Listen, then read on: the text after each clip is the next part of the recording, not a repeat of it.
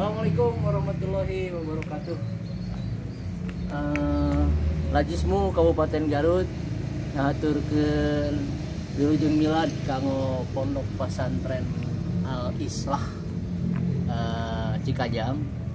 Mugia ngalahirkeun mujahid-mujahid enggal kanggo nanjirkeun jeung ngajungjung luhur agama Islam sing nepikeun ka ngawujudna masyarakat Islam nu sabener-benerna.